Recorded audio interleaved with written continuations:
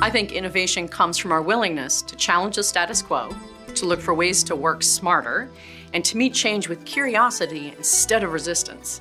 Great new ideas also come from listening to the variety of experience and perspectives that IQVIANs from all over the world bring to the conversation.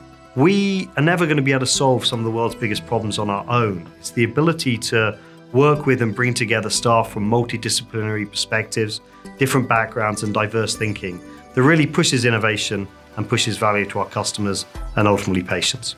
What I encourage our teams is to constantly look to disrupt what we're doing, constantly be agile, constantly be thinking about different ways to go about the same thing. We have to be able to take risks. We have to strive to do things differently. We have to be rewarded to try to break down some of those barriers and drive innovation. Do not stop learning. Be curious about everything.